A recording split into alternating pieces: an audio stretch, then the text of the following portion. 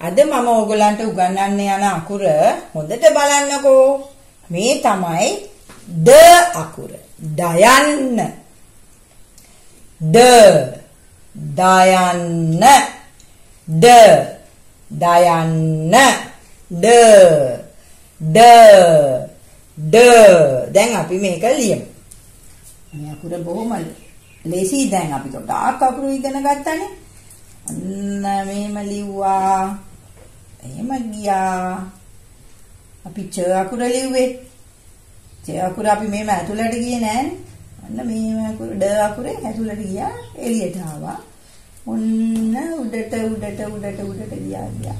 අන්න ද ද තව පාටක් අරගෙන ලියන්නම් මම ඔයගලන්ට ලියනකොට පුළුවන් තරම් ලියන්න ගොඩාක් පාරවල් වල ලියනකොට ලියනකොට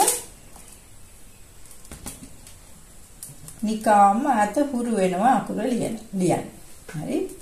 ද දයන්න. ද දයන්න. ද ද දයන්න. දයන්න. ද ද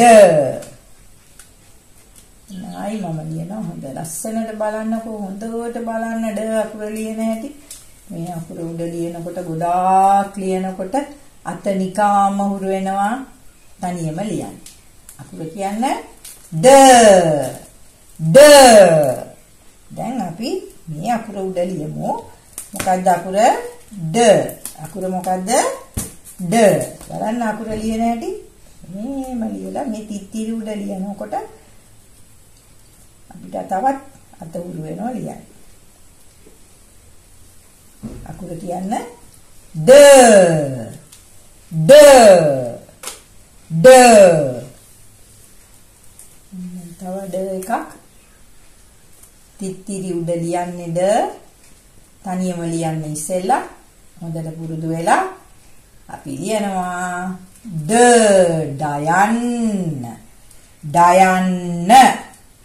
දැන් අපි ලියමු තනියම ද අකුර. ද. අන්න බලන්නකෝ. ද. ද. ද. හරි. දැන් මම මෙතන ලියනවා. තව ඩ එකක් දැන් අත හුරුයි. ඔයගලන්ටත් එහෙමයි. ලියනකොට ලියනකොට හොඳට අත හුරු වෙනවා. ඩ. අකුර ඩ. ඩ දයන්න. ඩ දයන්න. ඩ දයන්න. අපි මේවා වචන අපි මේ අකුරේ වචන කියමු. ඩ ඩයරිය ඩයරිය ඊළඟට ඩයන්නේ ඩක්කුව. ඩක්කුව. ඩක්කුව. ඊළඟට ඩ අකුරෙන් ඩගු ඩුගුව ඩගු ඩුගුව ද ඩයරිය. ද ඩක්කුව. ද ඩගු ඩුගුව හරි. දැන් ඔන්න මම තව අකුරක් ඊළඟට උගන්වනවා. ඔයගලන්ට මේ අකුර වගේ තව අකුරක් ඊළඟ පාඩමෙන් අපි ඔයගොල්ලෝ බලාපොරොත්තු වෙන්න මොකද්ද මම උගන්වන අකුර කියලා.